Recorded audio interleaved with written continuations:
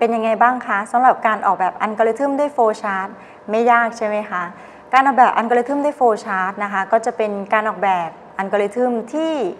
ใช้สัญลักษณ์ที่ได้กำหนดได้มาตรฐานมาใช้ในการออกแบบระระบบงานนะคะหรือว่าขั้นตอนการทำงานของโปรแกรมของเรา ซึ่งเป็นวิธีการที่นิยมมากนะคะ โดยการหลักการเขียนก็คือใช้สัญลักษณ์ที่เขาได้กำหนด ที่ได้มาตรฐานมาแล้ว และที่สำคัญนะคะ ให้ใช้ข้อความสั้นๆนะคะ อย่าให้เกินจากขอบของสัญลักษณ์ที่เราได้เขียนลงไปนะคะ เพื่อความสวยงามของโฟชาร์ตซึ่งในที่นี้นะคะการออกแบบอัลกอริทึมด้วยโฟชาร์ตก็แบ่งออกเป็น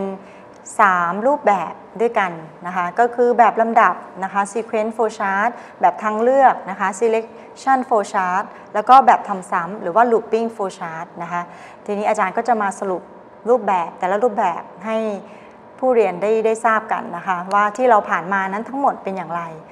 รูปแบบแรกนะคะที่เป็นลำดับนั้นก็คงไม่มีอะไรจาก 1 ไป 2 จาก 2 ไป 3 แต่ที่อยากที่จะให้เน้นย้ำมาก ๆ ก็คงจะเป็นรูปแบบที่ 2 ก็คือแบบเงื่อนไขและแบบวนรอบ หรือว่าแบบทำซ้ำแบบเงื่อนไขนะคะก็คืออย่างเช่นรูปแบบการใช้ if นะคะ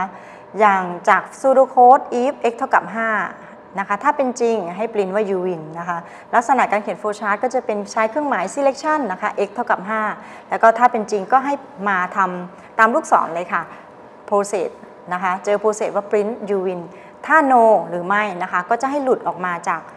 เงื่อนไขนะคะ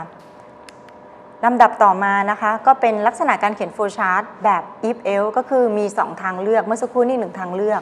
ก็ยกตัวอย่างอย่างเช่น ถ้า x เท่ากับ 5 ให้ print u win ถ้า else ก็คือ x ไม่เท่ากับ 5 ค่าอะไรก็ได้แต่ไม่เท่าไม่เท่ากับ 5 ก็จะให้ปริ้นว่า you lost นะคะ อย่างเนี้ยก็จะลักษณะการเขียน flow chart ก็จะได้เป็นภาพอย่างด้านขวานะคะ ก็คือเป็นสัญลักษณ์ x เท่ากับ 5 แล้วก็มี yes มี no นะคะ ตามกิ่งแขนงเลย ถ้าเป็นจริงเป็นเท็จให้ไปทำด้านไหนนะคะ ตามเงื่อนไขแล้วก็ไล่ไปนะคะ ซึ่งตัวนี้ไม่ยากนะคะสองสองทางเลือก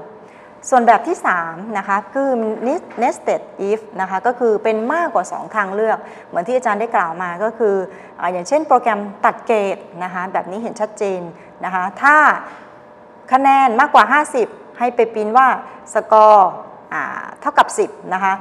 อันนี้ยกตัวอย่างถ้าถ้า x ค่าที่รับเข้ามามากกว่าหรือเท่ากับ 40นะคะถ้าเป็นจริงให้ไปพิมพ์สกอร์อะไรนะคะอันนี้เป็นยกตัวอย่าง แต่ลักษณะของ nested if เขาจะเข้าไปเช็คทุกกิ่งของอทุกแขนงนะคะของของ decision เลยนะคะจนกระทั่งเจอคำตอบนะคะถ้าไม่เจอก็จะหลุดออกมา ดังนั้นการใช้ flow chart หรืออัลกอริทึมแบบ nested if นี่ก็จะใช้เวลามากนะคะเพราะต้องวิ่งไล่เช็คในทุกๆ เงื่อนไขเลย จนกว่าจะเจอเงื่อนไขนั้นนะคะและนะคะเงื่อนไข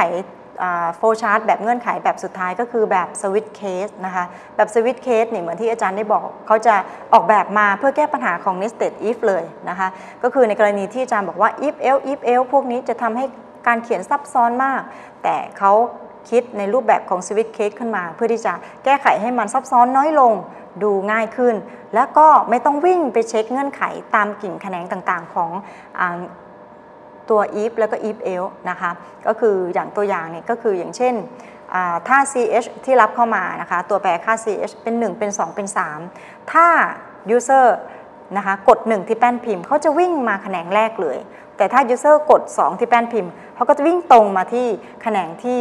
2 ตรงกลางเลยเขาจะไม่วิ่งไป 1 2 3นะคะเขาจะไปไปตามค่า value ต่างๆ ที่กรอกเข้ามานะคะ ต่อไปก็จะเป็นการเขียนโฟชาร์ตแบบวนรอบจำได้ไหมคะ มี 3 ตัว มี while มี do while แล้วก็เป็นแบบ for loop นะคะ แบบ while loop เขียนแบบไหนจำได้ไหมคะ แบบ while loop เช็คเงื่อนไขก่อนแล้วค่อยทำนะคะ แล้วค่อยวนรอบนะคะ จะทำก็ต่อเมื่อเงื่อนไขเป็นจริง อย่างเช่น i น้อยกว่าเท่ากับ 5 ถ้าเป็นจริงก็เข้ามาสู่ลูปเลยค่ะ sum เท่ากับ sum บวก 1 เสร็จแล้วก็ทำโปรเซสต่อไปก็คือ i เท่ากับ i บวก 1 แล้วก็วนไปจนกระทั่งเป็นเท็จนะคะส่วนเงื่อนไขที่2นะคะโฟชาร์แบบ do while loop นะคะก็จะแตกต่างจาก while ตรงที่ว่าทำหนึ่งรอบก่อนแล้วค่อยตรวจสอบเงื่อนไขนะคะ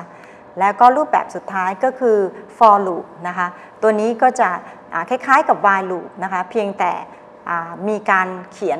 สัญลักษณ์ที่แตกต่างกันไป ก็คือสัญลักษณ์แบบ for loop นะคะซึ่งตัวนี้แบบ for loop นี้ก็จะประหยัดนะคะพื้นที่ประหยัดเวลาในการประมวลผล